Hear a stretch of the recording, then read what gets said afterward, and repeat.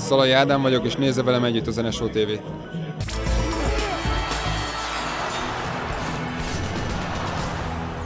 Megelégelte a helyzetet Priskin Tamás.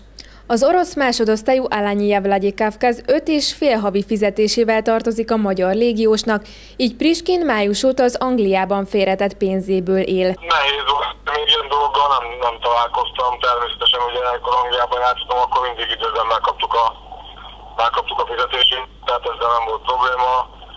Furcsa volt, de hát kénytelenek voltunk hozzászokni, és muszáj volt ezzel a teher játszani, mert amúgy nem tudtunk volna lépni egyről a kettőre bíztunk benne mindannyian, hogy, hogy lesz megoldás, sajnos ez még nem jött el, de, de, de azt az ígéretet kaptuk, hogy meg lesz megoldva ezek a dolgok. A csatár felbontotta a szerződését, mivel az utóbbi időben már nem tudta magát függetleníteni a problémáitól. Egyrészt ugye szomorú voltam, mert, mert jól lesz magam a csapatnál, jó is ment a játék, ugye az edzővel is úgymond jó volt a viszonyom, tehát amikor nem voltam sérült, akkor majdnem mindig kezdőként számított rám Szóval picit szomorú voltam, de, jól,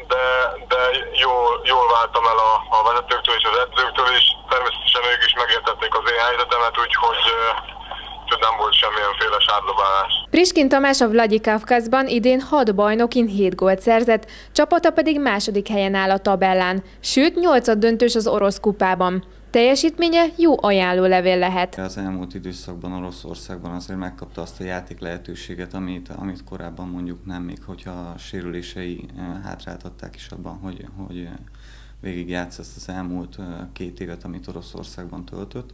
Ettől függetlenül tényleg rendszeresen pályára lépett, ráadásul az utóbbi időszakban ugye jól is jött ki neki a lépés, azt hiszem ugye hat bajnoki mérkőzésen szerzett 7 gólt, ami, ami önmagáért beszél, és ez egy jó ajánlólevél is lehet számára. A 42-szeres válogatott csatár jelenleg Győrben készül, azonban még nem költözne véglegesen haza, külföldön képzeli el a jövőt, és gyarapítaná válogatottságainak számát. A elképzelés az van, hogy természetesen a Bundesliga az nagyon vonzó, nem csak nekem, szerintem a, a nagyon sok futballistának. Bízom benne, hogy tényleg lesz, lesz lehetőség, többfajta lehetőség is, és tényleg sikerül majd a, a menedzseremmel a legjobbat számomra kiválasztani, az, hogy hol az még, az, azt még nehéz lenne megmondani. Természetesen az is a terveim közszerepel, hogy sikerül majd újra válogatott lenni. Priskin Tamás menedzsere Vörös Baranyi József szerint orosz, német, angol, svájci, osztrák és holland csapatok is szerződtetnék a csatárt.